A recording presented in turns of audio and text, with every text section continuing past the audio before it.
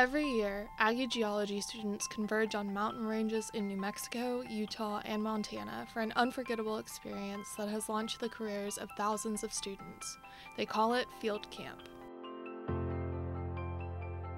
It's a lesson in real world application and hands on experience.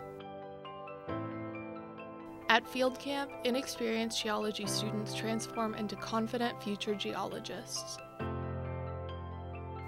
The professors become mountain hiking one on one instructors and mentors.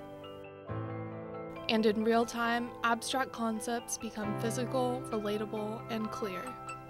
Field Camp is a three-week intensive course where we take students out into the field to do geological mapping, um, identifying rocks, mapping out their distribution, and figuring out their, the, what they, how the rocks fit into the geological structure of the area, the, the tectonic evolution of the area.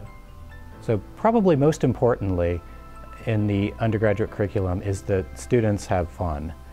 They're, field trips are fun, field camp is fun, being out with your, with your colleagues and your, co and your fellow students is a lot of fun. That they, it's hard work, but it's, it's hard work that is geared towards an understanding of something that, that they've been preparing for for their entire undergraduate career.